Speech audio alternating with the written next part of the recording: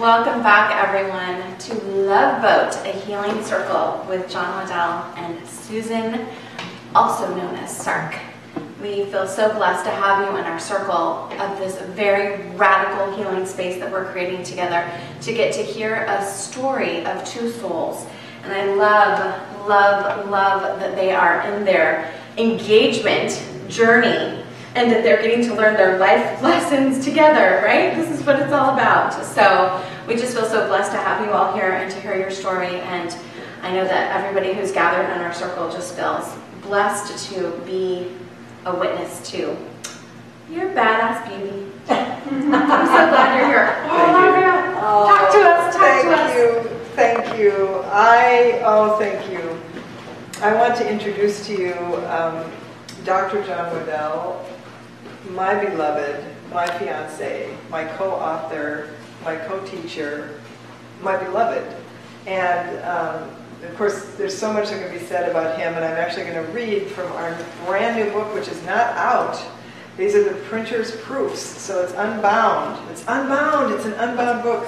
Pages are leaping out. Um, yes. Show you the cover.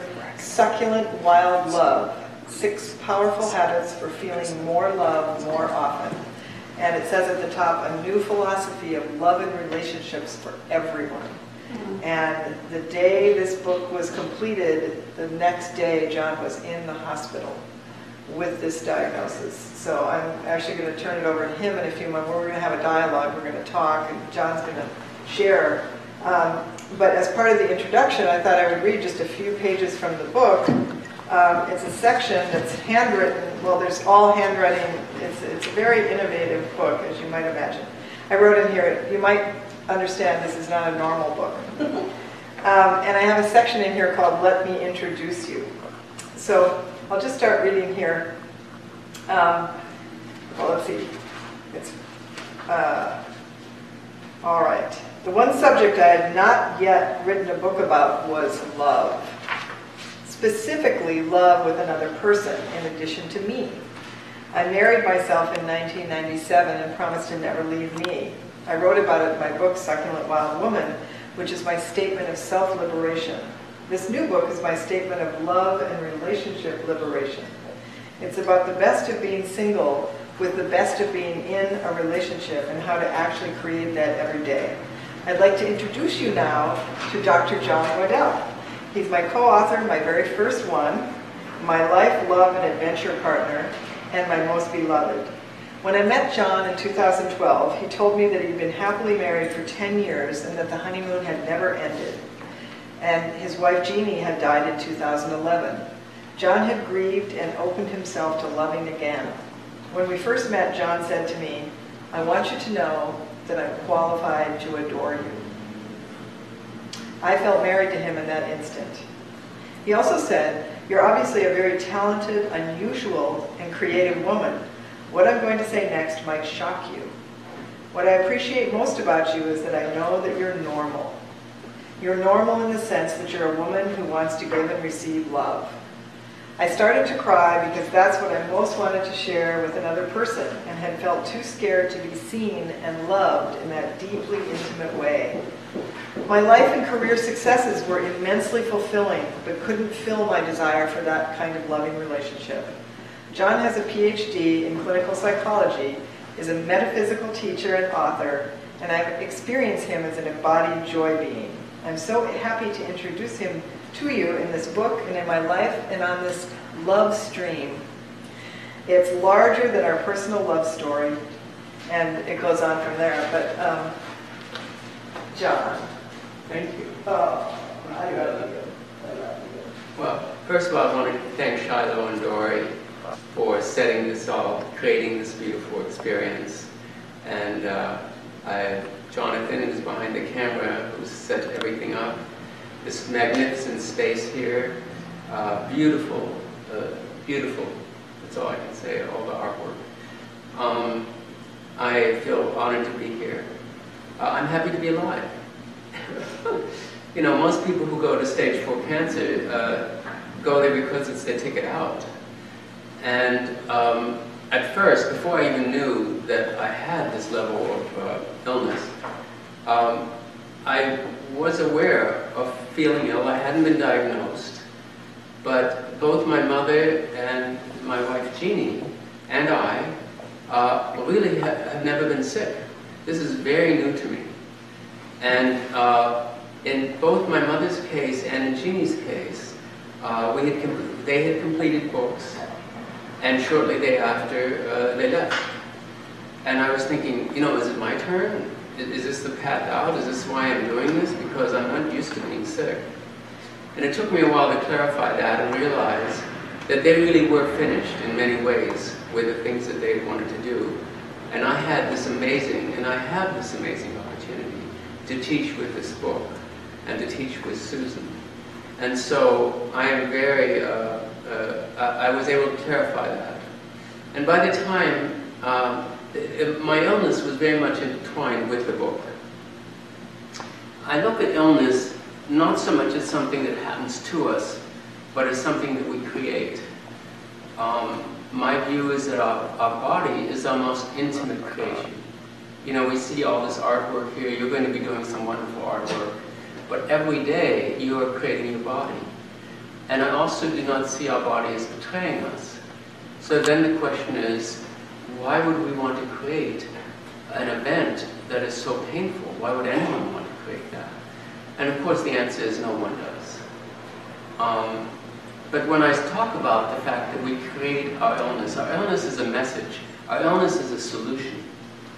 And my view of it is when we find another solution, we don't have to use illness. But this brings us to a very, very important point, that, that most people shy away from these concepts because it feels like blaming the victim. And the way I look at it is, in the 1940s, no one knew the correlation between high-fat diets and heart disease. And so people happily ate bacon and uh, whipped cream and butter and, you know, all kinds of stuff. And 20 years later, they might have a stroke or heart attack. And modern medicine would be able to say to them, you know, you, you contributed to this, to this big time by the fact that you ate all this high-fat food. But of course, the people had no idea. They had no way of connecting those dots until someone did the research and was able to help them. And that is how I feel about this. Most of us do not see the power of our thoughts. We have not been taught that our thoughts are powerful in terms of creating our physical experience. And so we go on and we think and we do and we follow along what uh, uh, authorities in our lives tell us. And then one day something happens, poof. And so to blame someone in that case is really crazy. On the other hand, uh, when you have someone who's been eating a high-fat diet, to withhold that information from them and say, you know, okay, you survived this stroke or you survived this heart attack, it would benefit you now to get on certain drugs, it would benefit you now to eat a lower cholesterol diet, a lower fat diet.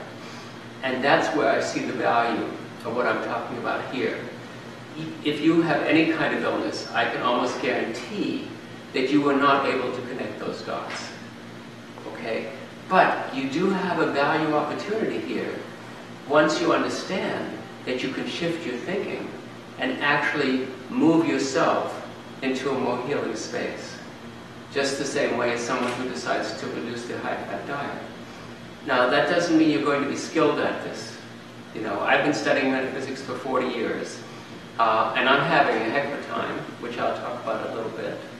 Um, but just having that knowledge, that awareness, that it, it, it's, a, it's, it's a developed skill, and anything you can do along those lines will benefit you. And you don't have to be master at it. Um, and you're going to run into lots of bumps if you choose this path.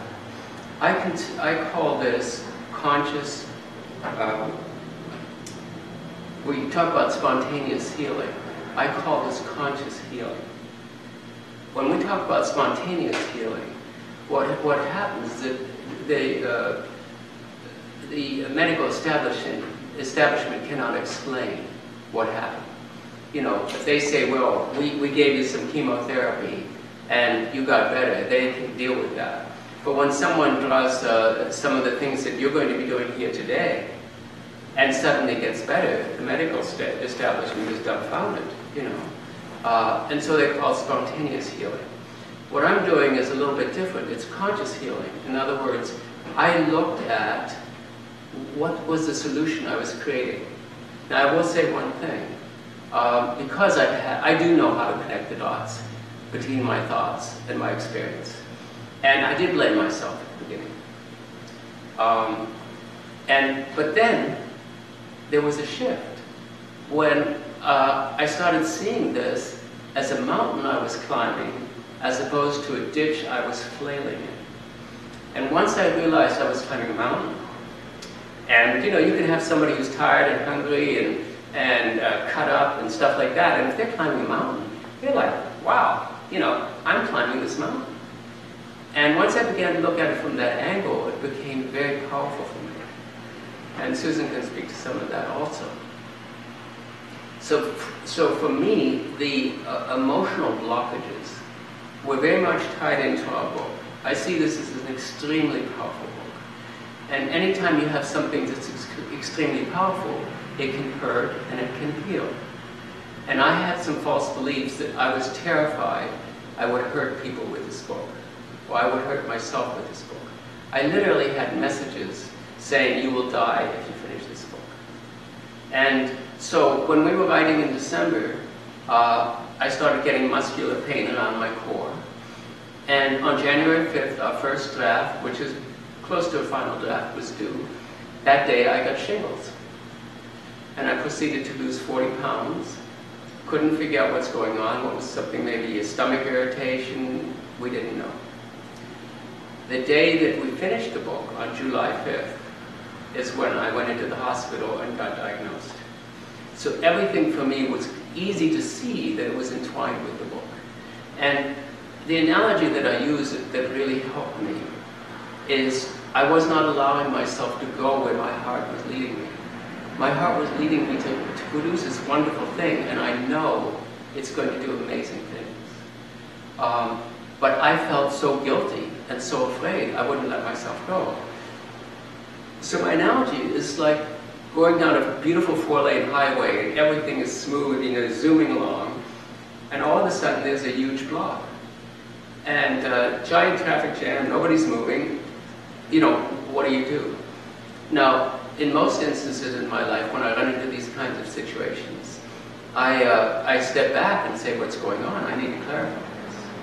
And I did try to do that. Uh, I was never able to fully clarify. And so basically, in my analogy, what I did is, this book is so important to me. It's so much what I want to do.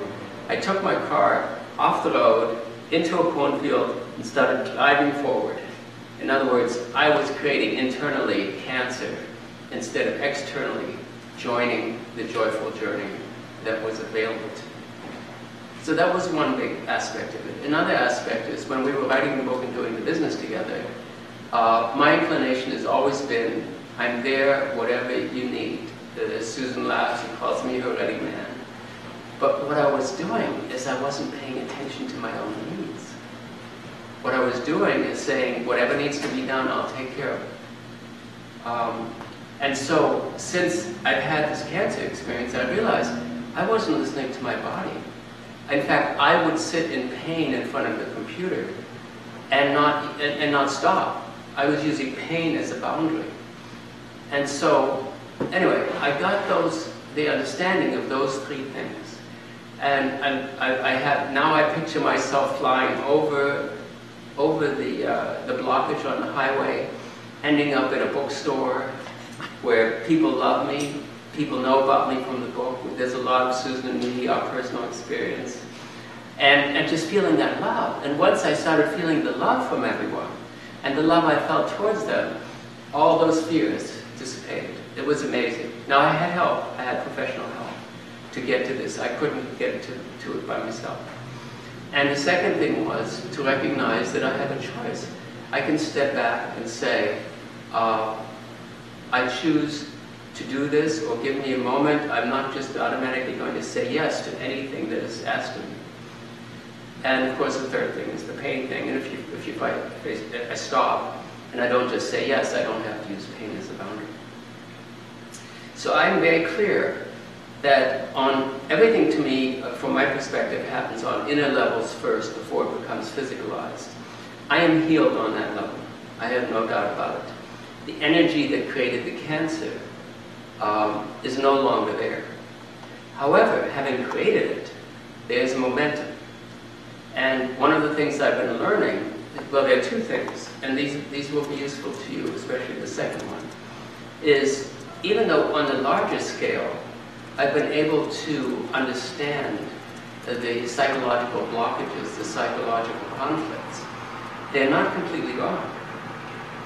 So about a week ago, uh, Susan and I uh, uh, had been scheduled, I'd been scheduled to participate in a weekend uh, seminar. And when I saw that I was scheduled for much of the weekend, my reaction was almost immediate. I was tired. I couldn't eat anymore. It, over the next three days, I could hardly walk. It was insane. I thought, what is going on here? Is it, the, it never occurred to me to connect the dots. You know, I thought, oh, uh, is it the chemotherapy coming out? You know, so the chemicals are still coming out of me, things like that. Again, once I was able to connect the dots and be able to say to Susan, hey, this is too much for me. And we were able to work it out. Uh, and and it, we ended up with a joyful solution, which was wonderful. And, and I realize now, this is not like a one-time deal. It's like I have been using the illness to protect myself. Because I can easily say, oh honey, I would love to do this with you this weekend, but I'm just too tired. You know, if I have the energy, I'll do it. And I can use my illness an excuse for a million things. And that is one of the, the things that is important to understand. If you do have an illness, especially if it's something that's long-term, it becomes entwined in your life. And once you begin to use it for anything, you have to consciously disconnect and say, is there a way that I can resolve this problem without having to be sick, without having to use this as an excuse? And so that's what I'm working on. And, and again, I'm, I'm a very aware person. You know, have a PhD in psych, I've been studying metaphysics, and all of us have blind spots. I have a blind spot, Susan's helped me, you know, Susan has her own. And so, basically... But you were gonna, you were gonna say two points, are you getting to the second? Well, the second one is Yeah. that if you're using it for anything, Oh, okay. yeah. Because I know, because I loved when you said uh, the second one, which you'll really be able to use. Yeah. And so I was waiting. Yeah, And so- then I was like, wait a minute, which is the second So, one? so be aware, uh, from my perspective, and you don't have to agree with this, you know, I'm not proselytizing, this is my view, this is my path. You have your own path. But from my perspective, the illness is a perfect expression of who I am. It's not an accident. We joke about it, it's not like cancer falling out of a tree on top of my head, you know. That I created exactly the path that I'm on. And that's how I see it. But that is a very powerful position once you understand that it's not your fault. You are innocent.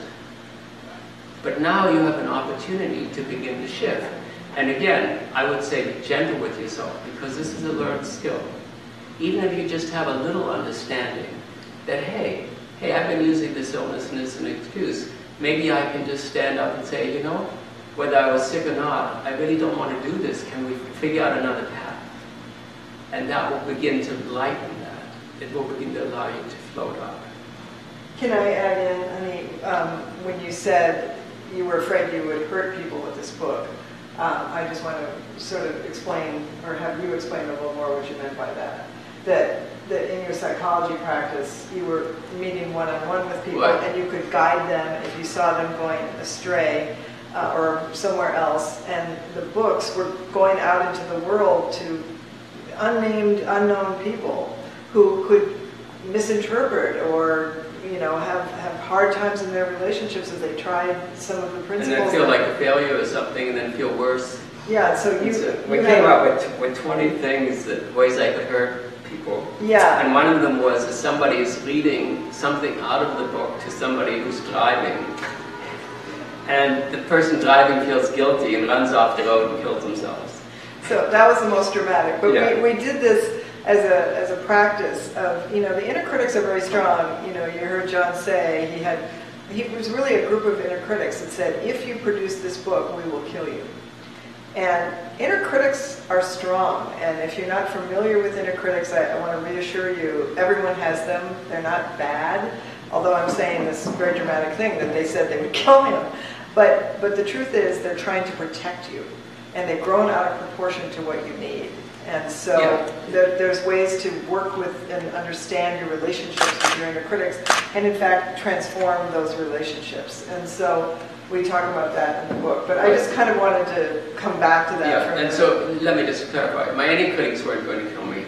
They said I would die, Oh, and they were trying to protect me. Right, So, um, right, good point. Thank you. yeah. I had them killing you. Right. So where I am now is, is um, I'm having some setbacks, emotional setbacks. I'm clarifying them. Each time I learn more. Each time I bounce back better. Uh, I'm still quite weak.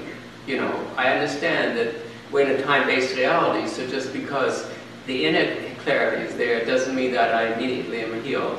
Uh, some people have that ability, I don't. Um, so I'm doing it more slowly. And um, now today, for all of you here, you have a wonderful opportunity to do spontaneous healing. You don't have to understand all of this. You can just allow your inner guidance to help you create a work of art. All you really need is two things. One is a desire to heal, a desire to shift your life. And the other is an expectation. And we, we have, you have some really powerful teachers here. And if you can ride on their energy and develop an expectation that if you follow and, and get connected with Source through Shiloh and through Sark, uh, that this will guide you to healing. It will guide you to healing. You don't have to understand the stuff that I'm trying to uh, figure out. If you want to, you, you know, that's a wonderful thing to do. But you, you can easily find yourself being healed, as Shiloh has said, that people have been healed before. Riding on that energy that Shiloh and Sark are going to connect you to Source in a way, in a vivid way that you weren't aware of. And then be aware as you begin to heal, not to use any remnants of your illness as an excuse. Be aware if you become afraid that all of a sudden you're healthy. You know, my counselor said, what if you had no cancer today? And I went, ooh, I don't know. I don't know if I could handle that. Because again, I was using it. Uh, so we all have, all have our different experiences. Uh, did you want to talk about caregiving? Uh, how's our time? We're good? Okay. Uh, see, what can I, what can I say? I said earlier about caregiving, um, you know, care living. I, I, I started, I, I realized like the, the physical acts of caregiving that I'm doing now, I was in the beginning very resistant. You know, I don't want to have to do a bunch of stuff. You know, how come I'm in this position? I mean, you know, I also didn't want to go into, uh, I'm, I didn't want to start over functioning and doing more than my body could handle or, and, and I really learned, and what I want to say is if you're doing any kind of caregiving in your life for anyone, for any reason, that it's even more important to keep self-love very close at hand. And so, and the, you know, you heard me say I was giving up ideal caregiver to be idea caregiver. So that means I've been looking for all different ways of doing things, accepting help from people, quitting certain things, doing some things really badly, doing partial things, um, changing up the order of everything. Oh, you know, let's do laundry next week. Um, who cares if the dishes are dirty? Uh, they can pile up. Um, these are all just simple things, but it's really a feeling sense of I'm, I'm a partner in my life with John, and I want to do whatever is for both of us that will make our lives more nourishing and easier. And so I was able to drop my anger and my resentment, and I was able to just move into a space of love and a space of, of willingness and a space of non-resistance. And that just feels so much better. And speaking as someone who resists a lot of things, um, I initially resist. My first thing is like, no, you know, let's not do that. And so it feels much better to, to open one's arms and say, what is there here for me? Um, so John has said now that uh, you've experienced me as a wonderful caregiver, um, but not an over-functioning one because I'm not denying my own needs. I'm taking good care of myself in the midst of taking care of John, in the midst of John taking care of himself. So it's it's it's very um, it's it's been very illuminating. Um, and anything else you want to say? Yeah, uh, well, I want to go back to my path for a minute. if you're done. Yeah. Yeah, And, so- um, no caregiving. The, uh, one of the most powerful things you can also do for yourself is to focus on things that you appreciate and bring you joy. The more you focus, you know, again, I come from the law of attraction. The more you focus on anything, the more it becomes amplified. So if you focus on things that bring you joy, even for five seconds, ten seconds, then you're not focusing on the illness. And uh, the more you do that, the, the body's natural tendency is towards health source, God, whatever you want to call it, is on your side. And it's really a matter of working out whatever needs the kinks. And then your body can float to the healing top. And so, again, one simple way is to just, as much as possible, I know we talked earlier about it's okay, go into the fears, of course. Uh, but then at some point, don't stay there. Move out, understand the fears, soothe yourself, give yourself statements like, anyone can heal, I've seen other people heal, uh, I've got so many wonderful things coming into my life to support me. This is a perfect example of what's happening today. And to remind yourself that you do have support, you do have love. And, and then go and focus as much as you can on those things that you joy. This is so amazing. I want to hold this book up um, and just say what a powerful book this must be. I gave my review already. Um, that it has this much danger associated with it because in our world, which is often driven by madness, when you create an alternative that's really powerful, there's often obstacles. There are mountains to climb because you're really saying something countercultural and it's not very popular, but we're going to make it popular because we're actually choosing that this is the way we want to be in love now. We've seen how relationships are going. We've all been in them. We've all had all that stuff that isn't working, but this book, which is going to be coming out very soon, which is so brave to continue the book experience during this, is going to be such a witness for your love relationships. And it's designed for people who are in love relationships, but also people who are individuals who are cultivating love within themselves or who are calling a love, be- love being to them. Six powerful habits for feeling more love more often. A new philosophy of love and relationships for everyone. Succulent, wild love. Oh. So um, I, I think that the legend, you know, at Cosmic Cowgirls, we're all about transforming your life into a legend. And when I think about the legend of the story, so sto- for me, story, making something into a legend, is what moves the energy. That's where the healing comes from me because I get the juju out of it. I get excited. And it's a combination, we call it, of fact and fiction and poetry. Because you make some stuff up. Like if you're not feeling good and you're saying, I'm, I'm healing myself, there's sometimes can be a mixed message. But when you bring it into a story or a legend, the legend of this book, that this book created, that the book wanted to create in some way, is just really amazing. And I think it's going to go down in our history um, as something that, what, like what you've done in your life, is going to change people's relationship to loving. And then being asked by this creation to do this work together is just really powerful. So I just want to honor you and thank you for doing it and thank you for letting us be a part of it. And of course, when it comes out, I would like you to purchase many copies of this book because this is um, this we is did not. We did not discuss this. no, no, this is me. This is the power of community. This is the power of healing and of working together and of being a community, witnessing how we're changing our thoughts and our minds from how things have been being done. This is radical. This is revolutionary. This is different. This is a different kind of love. And you get to be a part of it. And probably you're already feeling it as I am in my heart. I just feel, I feel that combination of wanting to cry and wanting to laugh all at the same time. So thank you so much um, for just giving us, giving us this opportunity to be witness to the process and to be, I loved how many references you made to like, I did that work. That is, I am, there's like that healed, cured thing, right? Where your physical body is still going through the journey that it's going through, but this is a healed man.